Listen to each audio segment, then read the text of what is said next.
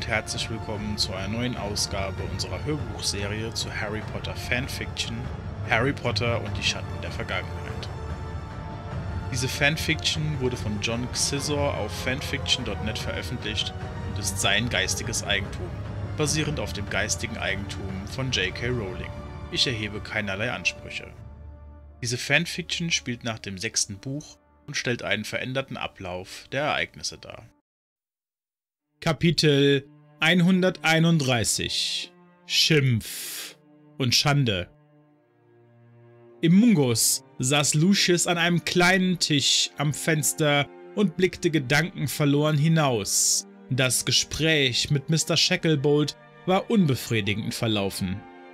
Man wollte tatsächlich von ihm weitere Informationen über Todesserverstecke haben, doch mehr als das, was der damals Gold Senior nach einer feuchtfröhlichen Nacht an Informationen aus der Nase hatten ziehen können, konnte er nicht liefern. Natürlich war Lucius davon ausgegangen, dass der Gatte seiner verschiedenen Schwägerin und dessen Bruder sich dem Fidelius bedient haben könnten, denn er selbst hatte ebenso gehandelt. Greyback hingegen könnte in der Muggelwelt untergetaucht sein, denn er selbst war kein Zauberer. So wie der Werwolf einer gewesen war, den Dumbledore einst als Lehrer engagiert hatte, dachte Lucius abwertend. Selbst Bellatrix hatte Angst vor Greyback gehabt. Sie war es gewesen, die sich lauthals darüber ausgelassen hatte, dass der dunkle Lord solche minderwertigen Kreaturen zu seinen Anhängern zählen wollte. Ihre Bedenken waren bis zu Voldemort selbst vorgedrungen, so dass er Bellatrix zu sich rufen ließ, um ihre Ansicht zu ändern. Entgegen der weit verbreiteten Meinung, der dunkle Lord hätte seine eigenen Anhänger mit Schmerzen zur Loyalität erzogen, hatte er, zumindest anfangs, mehr auf Gespräche gesetzt. Schlangenähnlich wie er war, hatte er die Menschen um sich herum mit viel Geschick beeinflusst, indem er mit gespaltener Zunge zu ihnen gesprochen hatte. Ein Cruciatus hatte Voldemort erst angewendet, wenn man in seiner Gunst tief gefallen war, oder wenn man, wie Draco, sich bereits bei der Zeremonie beim Aufsagen des Treueschwurs verhaspelt hatte. Karkaroff hatte geahnt, was er zu erwarten hatte, würde er zum dunklen Lord zurückkehren, aber letztendlich hatte er seinem Schicksal nicht entkommen können. Leiden musste Lucius erst, als er die Prophezeiung nicht hatte besorgen können, und später war es nur noch schlimmer geworden, weil seine Frau und sein Sohn auf und davon waren. Für Voldemort waren nicht nur Draco und Severus Verräter gewesen, sondern offensichtlich auch Lucius selbst. Wenigstens hatte der dunkle Lord sich seiner nicht entledigt, denn hier und da hatte er mit seinem Slytherin-Verstand immer wieder strategische Vorschläge vorbringen können, die für Voldemort nicht uninteressant gewesen waren. Einen einzigen Ort hatte Lucius nicht als mögliches Versteck für die flüchtigen Todesser genannt, und das war ein kleines Schlösschen, welches den meisten Anhängern Lords nicht einmal bekannt gewesen war. Severus kannte es, denn dort hatte er damals für Voldemort an neuen Tränken geforscht, und Lucius war dieses Gebäude nur bekannt, weil er Severus eines Abends dabei Gesellschaft geleistet hatte. Es hatte sich um die Nacht gehandelt, in welcher Voldemort das erste Mal aufgebrochen war, um die Potters und deren Kind niederzustrecken. Doch dabei war er kläglich gescheitert, wie auch die beiden weiteren Male. Lucius erinnerte sich daran, wie anstrengend es für ihn gewesen war, sein Amüsement zu unterdrücken, als der selbsternannte dunkle Lord nicht einmal gegen ein Schlammblut und einen Blutsverräter hatte ankommen können. Trotzdem Lucius seine Bedenken gegenüber Shacklebolt geäußert hatte, dass er seine Frau in Gefahr sehen würde, wollte der nichts unternehmen. Den Hinweis, dass wenigstens die beiden Lestrange-Brüder mit Sicherheit den Tagespropheten gelesen hatten und von der Freigabe von Malfoy Manor wissen müssten, ließ Shacklebolt augenscheinlich kalt. Möglicherweise hatten die Auroren selbst schon erahnt, dass sie auf dem nun wieder bewohnten Anwesen der Malfoys auf Todesser treffen könnten, die sich einen Unterschlupf bei Narzissa erhofften. Glauben Sie wirklich, hatte Shacklebolt begonnen, dass die beiden so unüberlegt handeln könnten und einen Ort aufsuchen würden, an dem sie mit Auroren rechnen müssen? Lucius hatte nur eine Bestätigung dafür erhofft, dass man auf seine Frau Acht geben würde. Mr. Shacklebolt, Sir, wenn Sie Miss Bones bitte davon unterrichten würden, dass ich noch immer auf Ihre Gesellschaft hoffe, hatte Lucius ihm höflich nahegelegt. Mehr als einmal hatte er durch Schwester Marie eine Nachricht an Miss Bones weiterreichen lassen, doch die war bisher noch nicht erschienen. Ich werde es ihr ausrichten, aber sie hat momentan sehr viel zu tun, Mr. Malfoy. War Mr. Shacklebolts knappe Antwort gewesen. Das Gespräch war über eine Woche her und bis heute hatte Miss Bones sich nicht bei ihm sehen lassen. Lucius seufzte und hoffte innig, dass er die einzige Ansprechpartnerin im Ministerium, die nach Maries Meinung noch immer anständig mit ihm umgegangen war, nicht vollends vergrault hatte. Im Ministerium saß Susan im Büro und füllte notwendige Formulare aus, damit sie demnächst ihre Schwangerschaftszeit antreten konnte, als Kingsley ihr Büro betrat. Susan, wie geht's? fragte er nach, und ließ seinen Blick einmal über ihren nun sichtbar gewachsenen Bauch gleiten. Mir geht es gut. Danke der Nachfrage. Und selbst? Bestens. Die Gesetzesentwürfe sind fast fertig. Hermine hat mir ein gutes Stück weitergeholfen.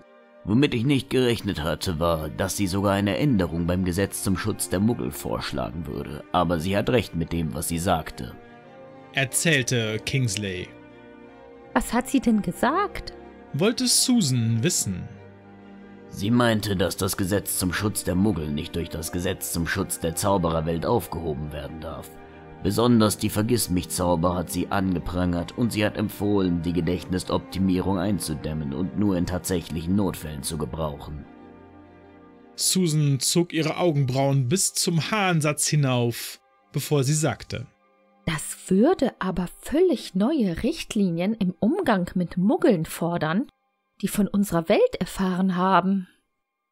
Genau, und da wird es ein wenig knifflig. Man müsste ein Komitee ins Leben rufen, das sich um jeden einzelnen Fall individuell kümmern müsste, bis entschieden wird, ob ein Vergissmich angewandt werden sollte oder nicht. Sagte Kingsley, klang dabei aber nicht ein bisschen demotiviert, denn er begrüßte diesen Vorschlag. Gut für die Muggel, würde ich sagen, sagte Susan lächelnd. Direkt neben Susan nahm Kingsley auf einem Besucherstuhl Platz, den er herangezogen hatte. Er blickte auf die Formulare auf dem Schreibtisch, bevor er fragte. Wann verlassen Sie uns, Susan?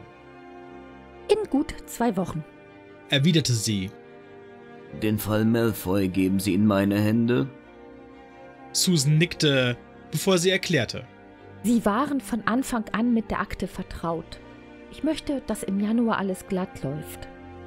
Werden Sie ihn vorher noch einmal aufsuchen und ihn darüber persönlich informieren, dass Sie eine kleine Auszeit nehmen? fragte Kingsley. Diesmal blickte er demonstrativ auf ihren Bauch, denn er wusste, dass sie nur deshalb Bedenken hatte, Lucius Malfoy gegenüberzutreten. Kleinlaut fragte sie, obwohl sie die Antwort kannte. Er kann wieder sehen?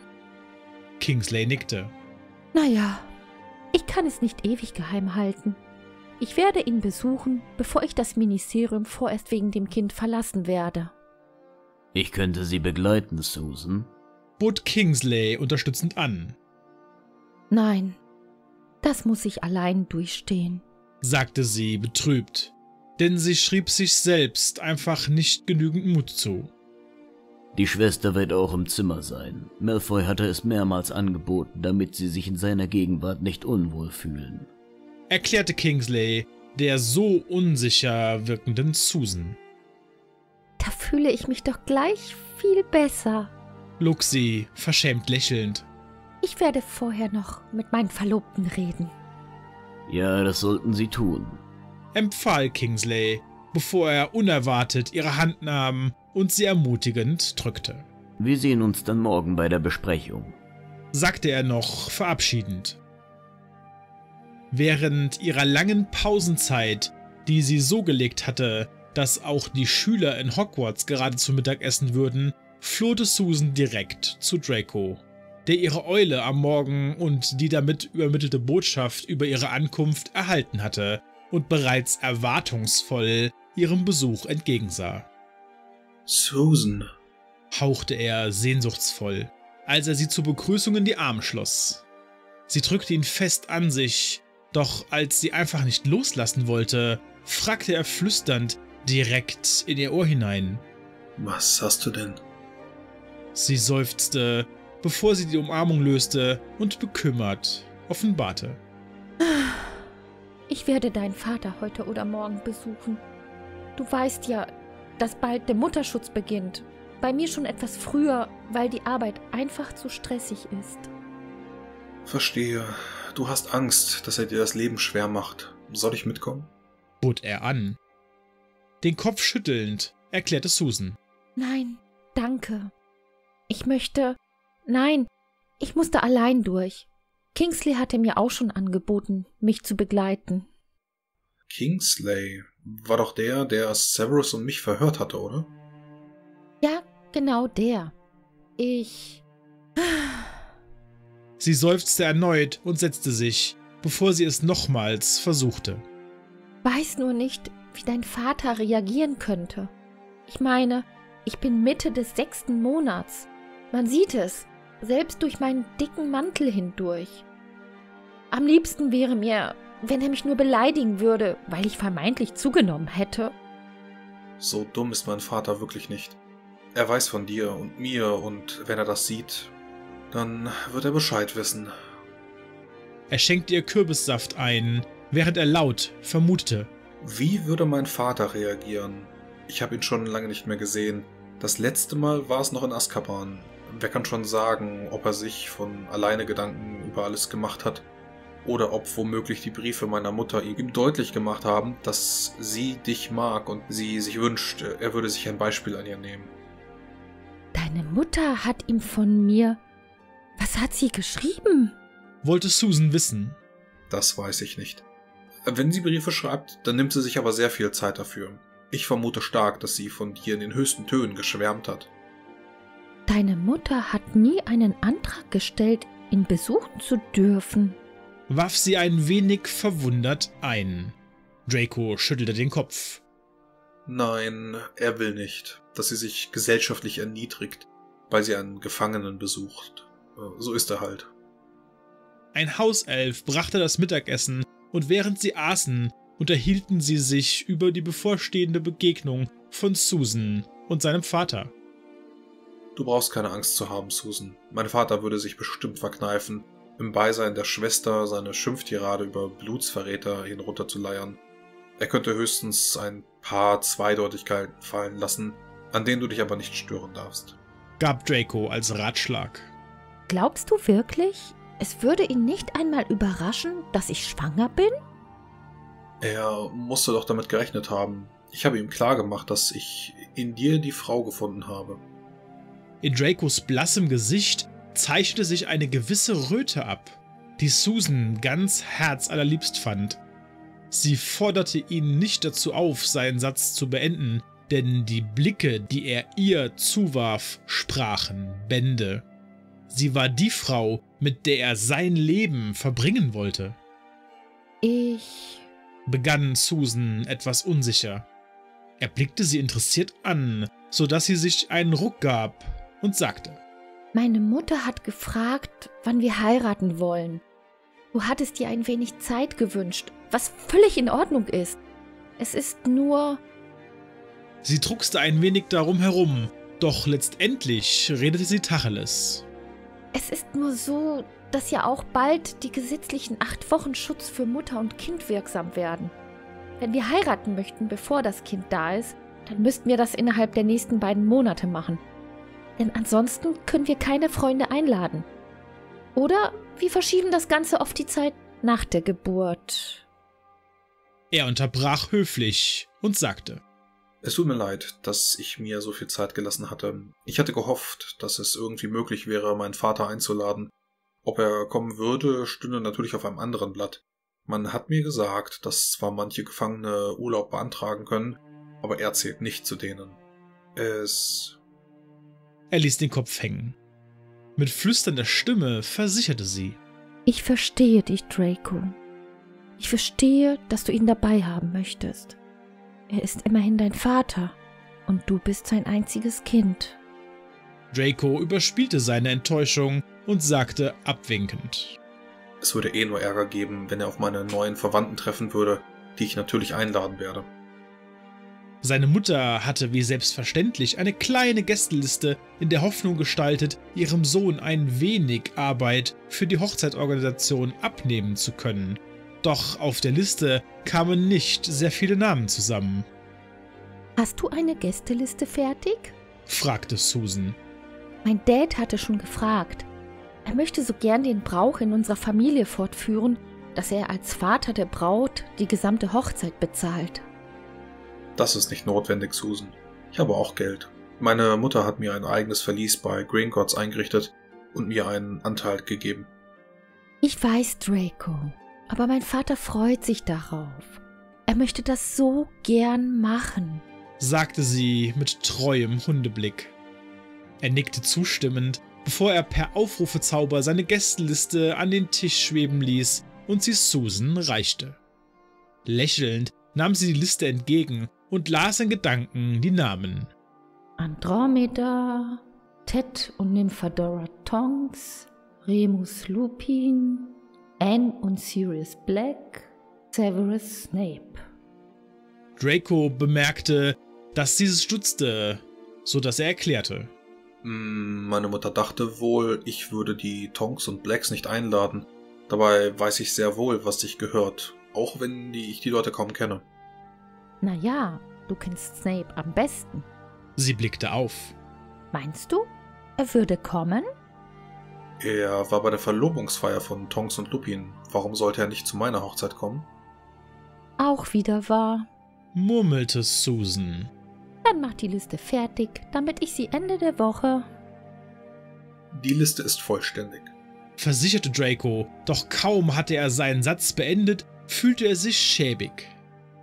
Gästelisten für Hochzeiten waren in der Regel wesentlich länger, doch er fragte sich, wen er noch einladen sollte.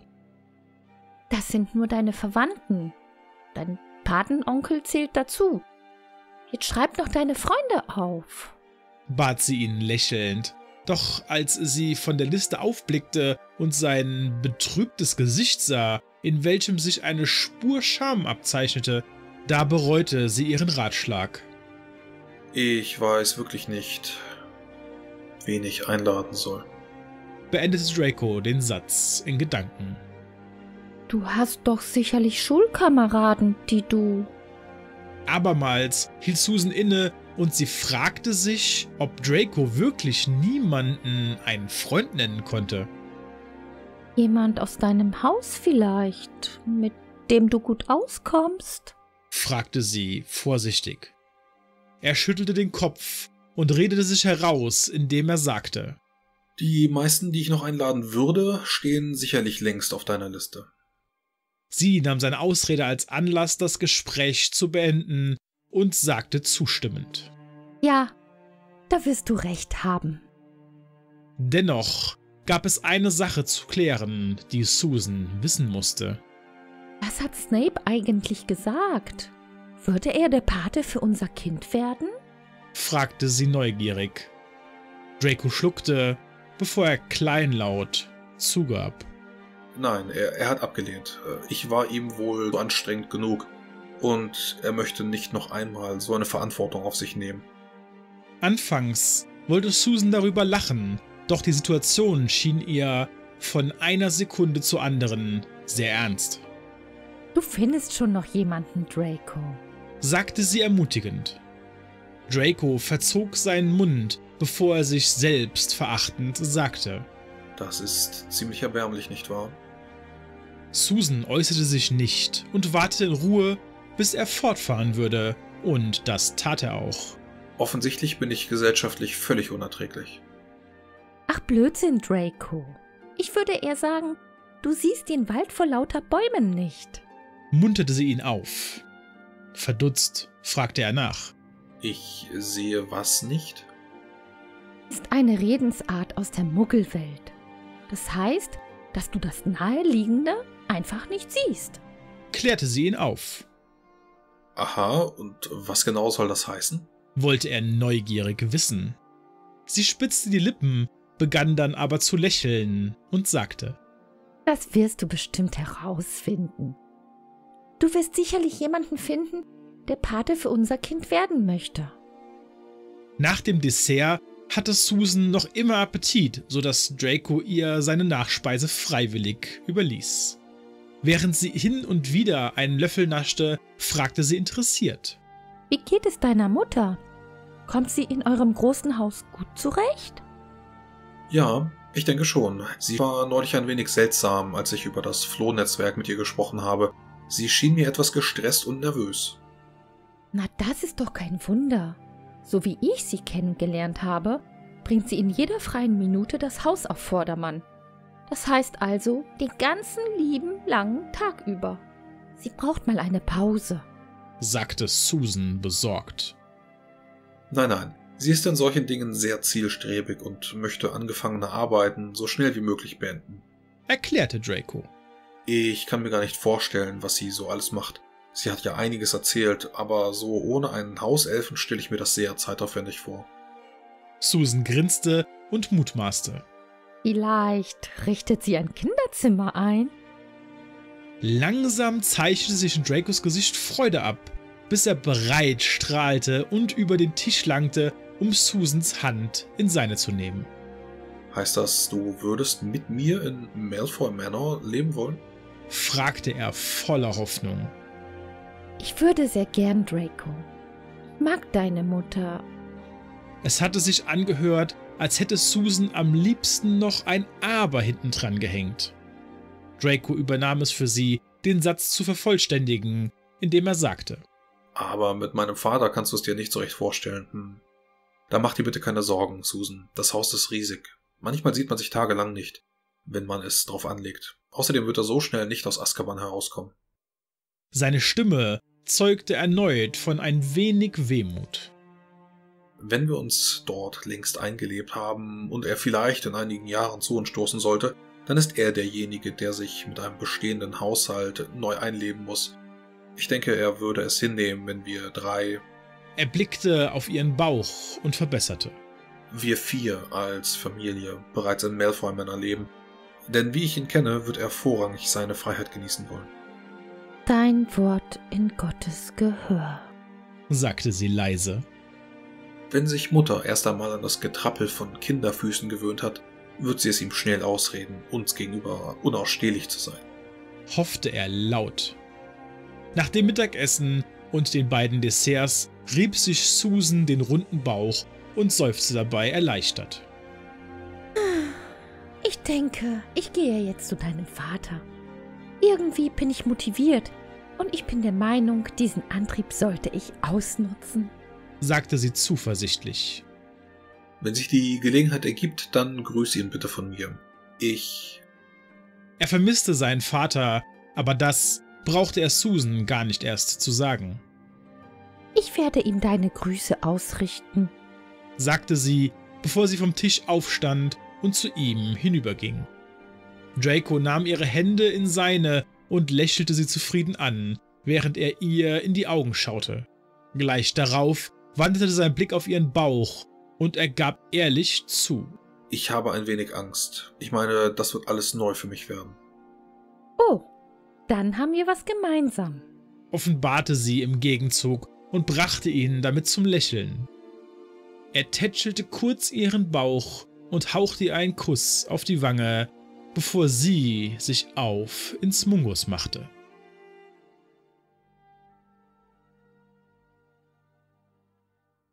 Soweit zur heutigen Ausgabe unserer Hörbuchreihe zu Harry Potter Fanfiction Harry Potter und die Schatten der Vergangenheit.